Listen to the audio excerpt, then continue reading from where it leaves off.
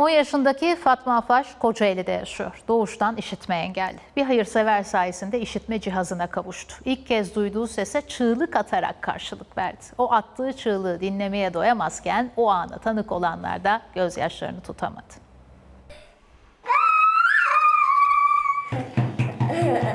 İşitme cihazı takıldı. İlk yaptığı şey sevinç çığlığı atmak oldu. Fatma'yı kimse susturamadı. 10 yaşındaki Fatma Afaş Kocaeli'de yaşıyor. Doğuştan işitme engelli. Eczacı Caner Göçmez onun üzüntüsüne dayanamadı, tüm tedavi masrafını üstlendi. Başarılı sonuçlar aldık.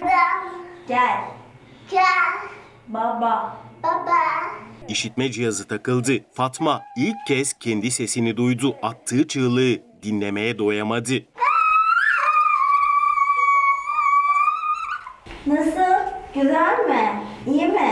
Duyuyor musun? Genelde işitme engelli çocuklarımızda e, ilk cihazı taktığımızda ya ağlama meydana geliyor ya da çok mutlu oluyorlar. Onun mutluluğuna tanık olanlar da gözyaşlarını tutamadı. İlk gördüğüm zaman yaşadığı mutluluğu görünce inanın çocukla birlikte hepimiz burada ağladık.